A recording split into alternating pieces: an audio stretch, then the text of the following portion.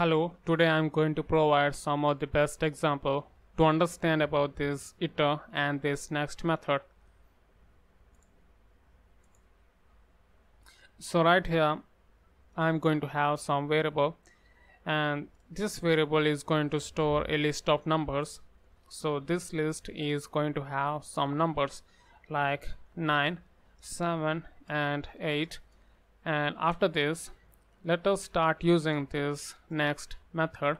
So let us check whether this iterator is having this next method or not. So this list object doesn't have this attribute. So so I'm getting this attribute error.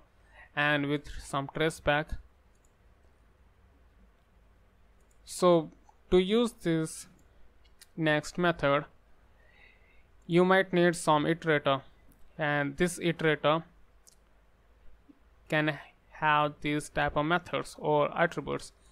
And so because of that let us have some variable like some new list. And I'm going to call this function. And this function takes some collections collection and finally this function will return this iterator and I'm going to store this iterator in some type of variable. And after doing that I'm I can able to use this next. And this function will take this list. And now let's run this program. So this happens because this is not iterator. Because you can see I'm providing this variable. So instead of this let us provide this iterator. So I'm getting this value so if you want to understand more about this function you can have this document like so this iterator and this document and you can have this document and every time this function will return this iterator. So let us have this statement again and again and let's run this program. So I'm having these three integers and what if you are having this statement again and I'm getting this type of error like I need to stop doing this iteration. And so this iteration happens uh, by using this next. And for this I'm having this error so this is some basic way to understand this iter and this next. And let us have some another example. So let's have these two things right here. And now let us have some variable. So this variable is going to store these type of values. And we know that these things will return some elements inside this list and I'm going to store these elements in some variable so let's have this right here. And now I'm going to use this while loop. And this while is going to check for this variable value. And if suppose we're having some number in this variable other than a value 0 if we have a value 0 this while loop is this while is not going to create a loop. And if we have some number a loop is going to be created.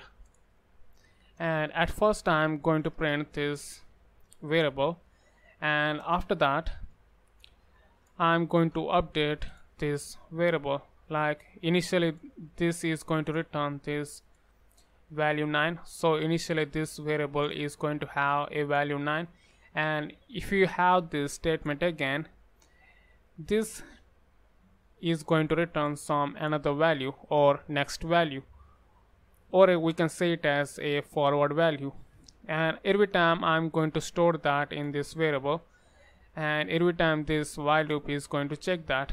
And if this condition is true I'm going to print this value. And let's run this program so right here I'm actually calling this statement. So because of that I'm getting this stop iteration.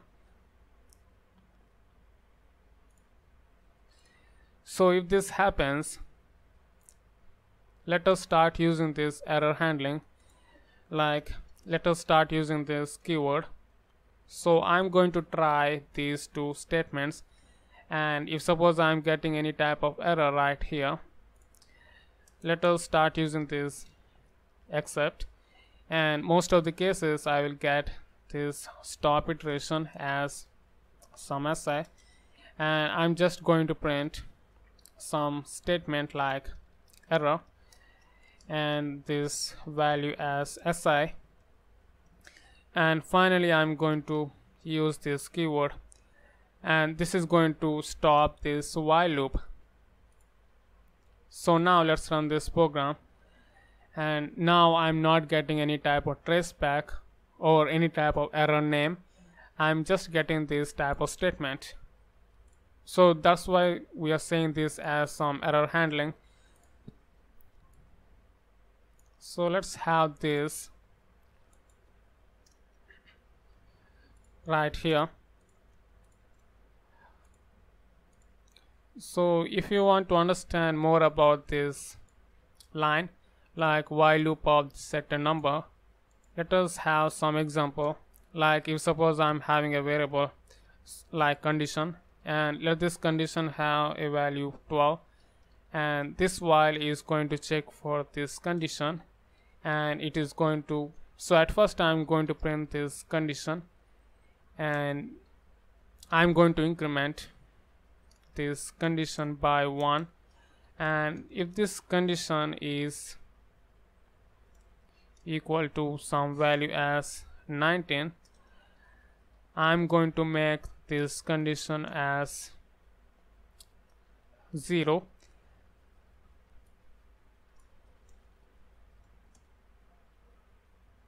so let's run this program. So I'm getting until this 19 if suppose this is 19 this condition will be is going to stop right here. So this is one another example. Otherwise you can check initially like if suppose so every time it is a good thing like at first case you need to check for certain errors. And if you are having certain errors we need to stop there. So in the same way right here if this condition is 19 you can have either this break. So if you have in this condition right here so at first let's run this program. So I'm getting this same value again. So this is some certain example to understand about this while and some numbers.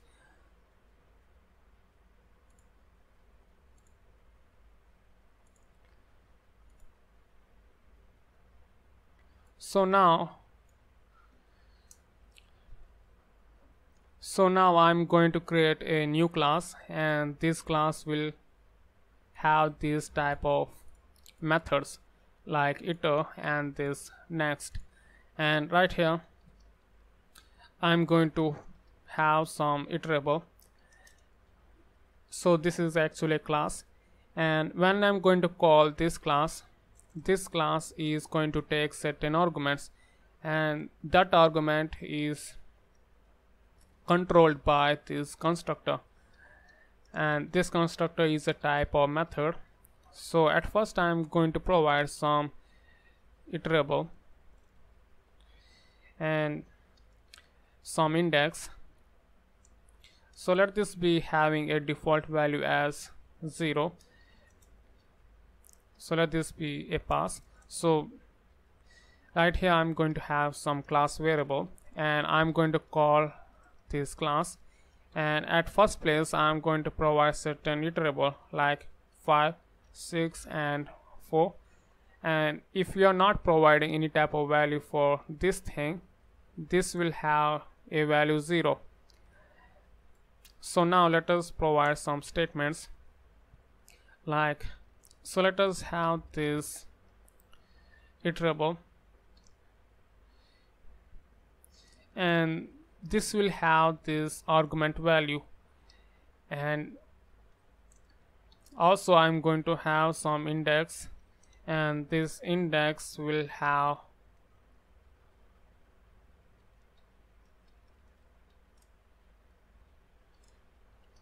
this argument value. And after doing this let us create this iter so this is just going to return this self. And after that I'm going to have this next. And this is also not going to take any type of argument as this method does. And so when I'm going to call this next. So at first case I'm I need to check whether I'm going to get any type of error or not. So every time you can see here when I'm going to call these type of methods I'm getting these type of errors. So at first I need to check that like so I'm going to start moving from this index 0 and I'm going to stop at this iterator. And so instead of having this you can provide this direct value. So let this be 0 and right here if this self dot index is same as this length of this self dot iterable so make sure this name and this name must be same. And so if this happens I'm going to raise this stop iteration. And right here I'm going to have some variable. And this variable is going to have some value from this list. And so this is a iterator. So it is it must have some index and based on that index this is going to return some type of value present inside this index. So let this be self dot index. And after doing this let this self dot index increment by a value 1 and finally I'm going to return this variable. And if you do this let us print this class variable. And I'm going to use this next method. And let's run this program. So I'm having a value 5 and so you don't have to use this function like this iter. And you can directly start using this next. And so this is based on our condition. Like we can provide any type of condition you needed you needed right here. And let us have this for four time because we are having this next. So the we are actually having these three values. And at first let us check all these values. So I'm getting this. And if suppose I'm having this statement and now I'm getting this error so this is going to raise this error. And so this is for this iterable. And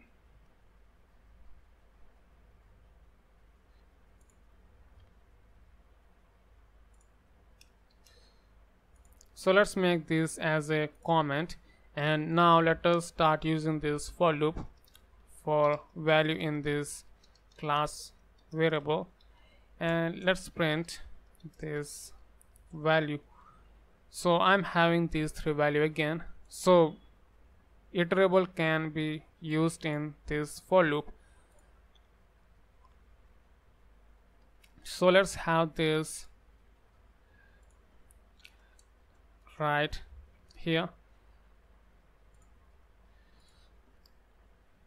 So you can see here this provides this type of values. And we are actually moving from forward to this last place. And what if we want to move from this last place to this first place? And how to do that? So you need to provide some another statements right over here. So now we know that we are moving from this last place to this starting place. And instead of this index let us have this length of this argument minus 1 so this length is actually value 3 so I'm having this value as 3 so 3 minus 1 will be 2 so maximum index is 2 because index starts from a value 0 and this is 1 and this is 2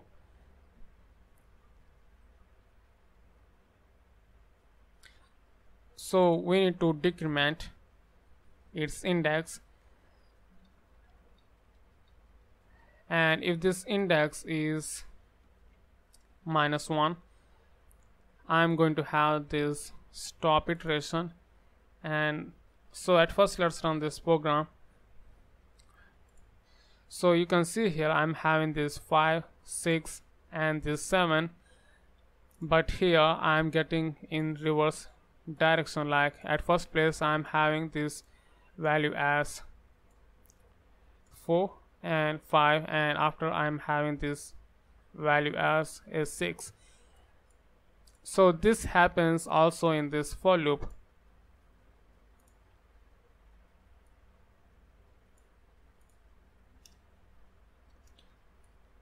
so let's check for this next and let's run this program. So I'm having this 4 6 and 5 without any type of errors. And so this is going to raise this stop iteration. So this means that this for loop is going to check for this stop iteration. This means that this for loop is going to stop when we have this stop iteration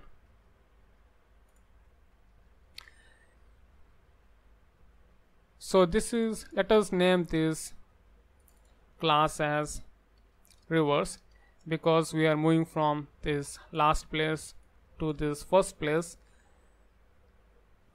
So instead of having all this thing if suppose I'm having this statement again and I'm getting this type of error. And now let us start using this error handling so I'm going to try all this statement. And we know that I'm going to get this type of error. And I'm going to use this keyword. So this has to be stop iteration as si and I'm going to print some statement like error as this si and let's run this program. So I'm not getting any type of traceback or any type of errors. I'm getting only this statement. And you know that after having this error this all statement is going to stop. So this all statement is not going to work. And finally in all these statements we don't have any other return type so let us return some value like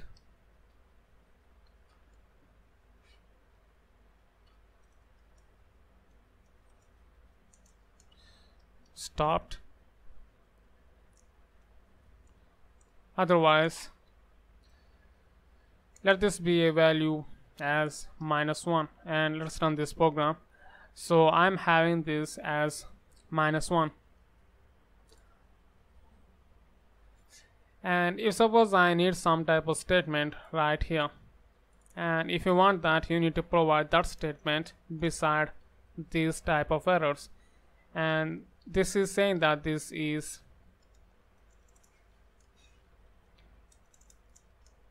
stop iteration and let's run this program.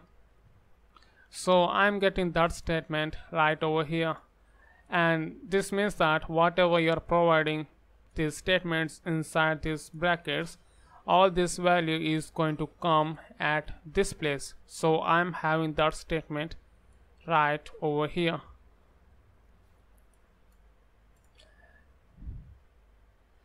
So this next is not going to is going to provide this type of errors if we have this this thing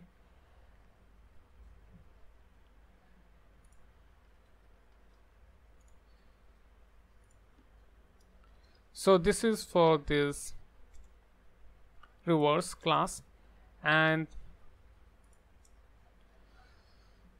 so today I have talked about this iter and this function will return some type of iterator and this iterator can have this next method. So we can use that and we can have these type of statements like if suppose you are having many numbers in this list you don't have to use these type of statements again and again. So you must need some type of while loop to have to print all these values if you are using this next. And otherwise you can use a for loop. So this is how you can use this error handling when you have these type of statements or when you have this type of errors and when this error is occurred these statements is going to work. Like it is going to stop this while loop and coming to this class I have created these methods and these methods will have these type of statements. So this iter will have only this thing but main thing here is this next will have some conditions or some type of syntax or some type of statements. So based on these statements we are getting these all values from any type of iterator. And coming to this place I am starting moving from this last place to this first place. So because of that this index or initial index will have this final value.